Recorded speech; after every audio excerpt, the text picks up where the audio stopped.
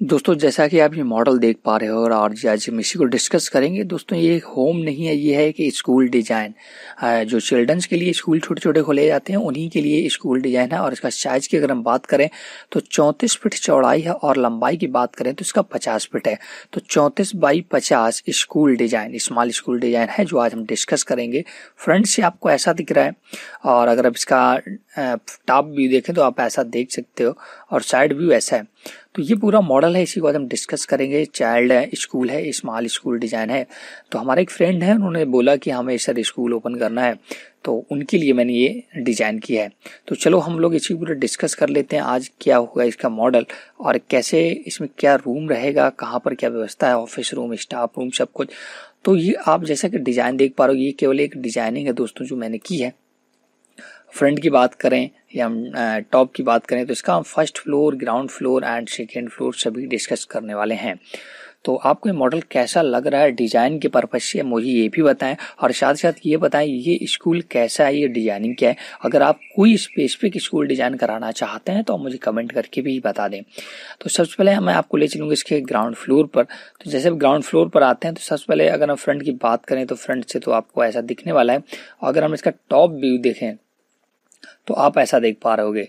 Front से आपको ऐसा दिख रहा होगा, ये देख सकते होगे आप फ्रंट व्यू है यहाँ पर, और यहाँ पर ये डिज़ाइनिंग के लिए दो पोल है मतलब कि आपको देख सकते हो ये पोलिंग है, जो डिज़ाइनिंग के लिए मैंने क्रिएट किया है।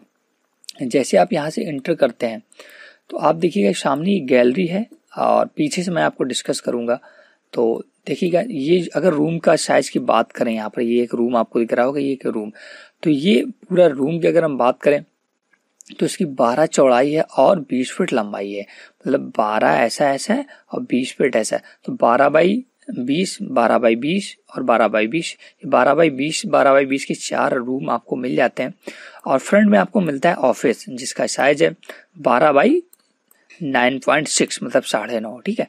बारह बाई साढ़े नौ का एक ये आपको ऑफ़िस मिल जाता है जो आपको स्कूल में ओपन करना है।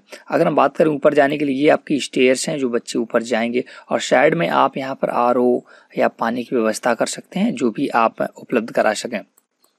अगर हम लेटरिन और बाथरूम की बात करें तो ये देख रहे हो कि ये दो यहाँ पर लेटरिन और बाथरूम मैंने दिए हैं और यहाँ पर आप सेपरेट कर सकते हैं गर्ल्स और बॉयज़ के लिए। तो ये आप यहाँ पर चार रूम हो गए। ठीक है, चार रूम नीचे वाले फ्लोर में, एक ऑफ़िस मिल जाता है और आपको स्टेयर्स मिल जाती है ऊपर जाने के लिए। तो आप देख लीजिएगा, अगर हम इस रूम की बात करें तो यहाँ पर वेंटिलेशन के लिए ये डोर है, आप यहाँ पर भी विंडो लगवा सकते हैं। और इसकी बात करें तो ये मेन डोर है और ये आपका विंडो है। अब सेम टू सेम बिल्कुल इस तरफ़ भी डिज़ाइन है और ऑफ़िस की अगर हम चाहें तो ये ऑफ़िस के लिए रूम यहाँ से है और एक आप ये ग्लासेस वाला भी लगवा सकते हैं, जो ग्लास आप देख रहे हैं ना तो चारों, चार तो विंडो हैं और फ्रंट में आप एक ग्लास वाला डोर लगवा सकते हैं जो बाहर से आना जाना बना रहे ऑफ़िस में। और इसमें अगर आप चाहें तो यहाँ पर आपको कोई भी गेट की ज़रूरत नहीं है, क्योंकि यहाँ पर स्टेयर्स आप अंदर जाकर ही चढ़ेंगे। तो ये इसका ग्राउंड फ्लोर था जो मैंने डिस्कस किया। अब इसको हम ले चलेंगे इसके फ़र्स्ट फ्लोर पर। देखिएगा फ़र्स्ट फ्लोर आपको फ्रंट से ऐसा दिख रहा होगा। सिर्फ़ ये जो आप कलरफुल देख रहे हो, ये सिर्फ़ डिज़ाइनिंग है दोस्तों, और कुछ नहीं है। विंडो छोटा छोटा लगा है और डिज़ाइनिंग है। और सेम बिल्कुल प्रोसेस जैसा नीचे था, बिल्कुल ही वैसा सेम टू सेम चार रूम आपको यहाँ पर मिल जाते हैं।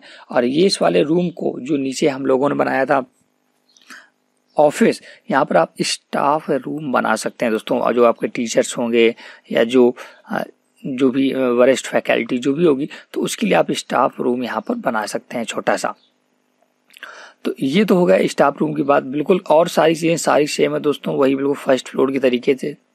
बस आपका यहाँ पर एक स्टाफ रूम जो मैंने दिखाया, वो आप देख सक रहे होगे। तो अब हम लोग डिस्कस कर लेते हैं इसका और रूम की बात करें तो सेम टू सेम सारे रूम है, आप स्टेयर्स भी देख पा रहे होगे सब कुछ। तो अगर अब हम बात करें, ये तो इसका फ्रंट हो गया। अब हम इसके बात करेंगे लास्ट फ्लोर की। तो लास्ट फ्लोर में मैंने देखी स्टार्टिंग में ये हरा पीला जो देखी सिर्फ़ डिज़ाइनिंग है दोस्तों। और सेम टू सेम मॉडल है ऊपर से लेकर नीचे तक। और बात करें यहाँ बाउंड्री की है जब फ़र्स्ट फ्लोर पे हूँ तो सामने में बाउंड्री ग्लासेस मैंने लगवा दिया देखिए अब ग्लासेस दिख पा रहा होगा। तो ये ग्लासेस है जिसमें बाउंड्री का काम करेगा आपका, ठीक है? रेलिंग का। अब अगर हम लास्ट देखिए सेम वही फिर से चार रूम और वही टॉयलेट बिल्कुल सेम बनता है। इस रूम को आप किसी भी तरीके से यूज़ कर सकते हैं। अगर हम लास्ट फ्लोर की बात करें तो लास्ट फ्लोर मैंने कुछ नहीं, सिर्फ़ डिज़ाइनिंग किया है और आप देख पा रहे जो आपको नीचे से पोल दिख रहे थे ना, वो नीचे से ऊपर तक गए हैं।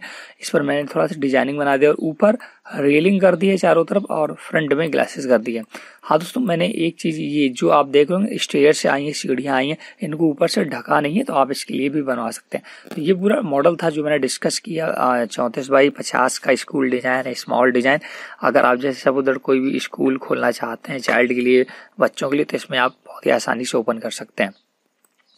और अगर आप चाहते हैं कि कोई दूसरा मॉडल हम क्रिएट करें तो आप मुझे बताएँ और ये मॉडल कैसा लगा कमेंट करके बताएँ।